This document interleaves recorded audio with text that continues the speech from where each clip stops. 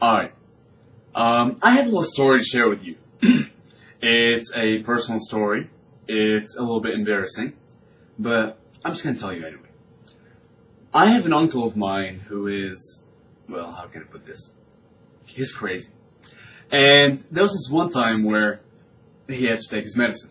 So his family ran up to him, you know, they were giving him his medicine, but he did not want to take his medicine, so they kind of, you know, made him take it against his will. Because remember, he's a great, he's a crazy guy.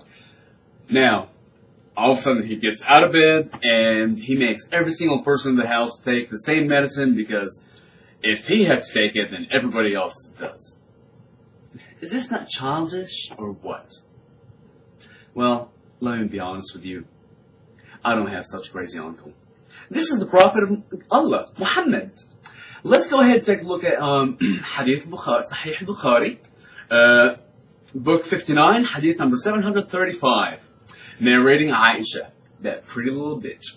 Um, we poured medicine in one of the, in one of the sides of the Prophet's mouth during his illness, and he started pointing to us, meaning to say, "Don't pour medicine in my mouth."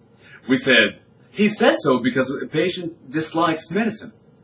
When he improved and felt a little better, he said, Didn't I forbid you from pouring medicine in my mouth?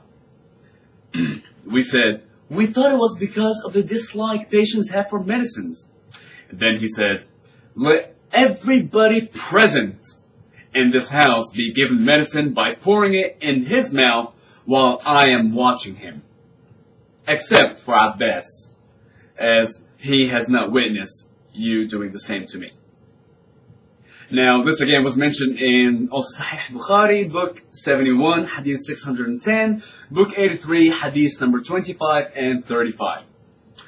Um, now, it doesn't really say what kind of medicine it is, so let's go ahead and take a look and see what did Muhammad also consider as being medicine. Uh, going back also to, to Sahih Bukhari, book 71, hadith number 587, uh, narrating Jabir bin Abdullah.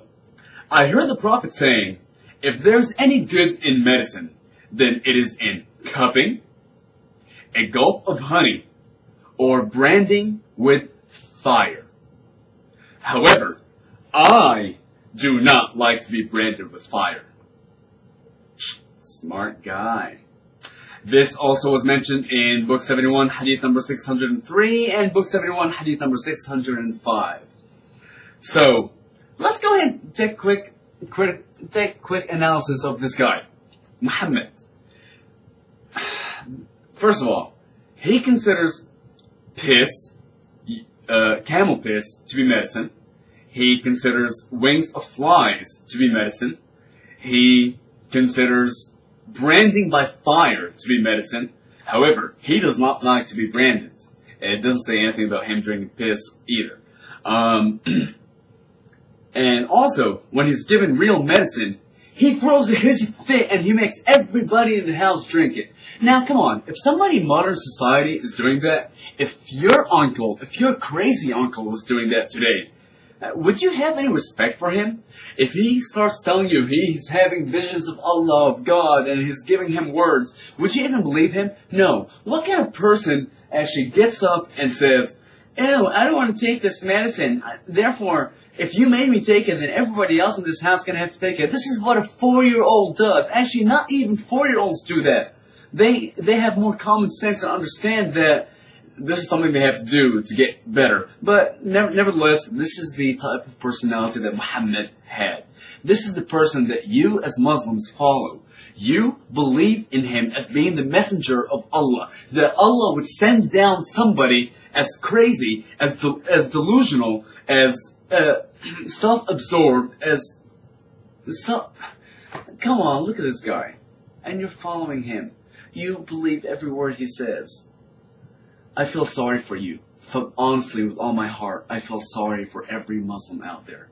That's all I have to say for right now. You have a good night.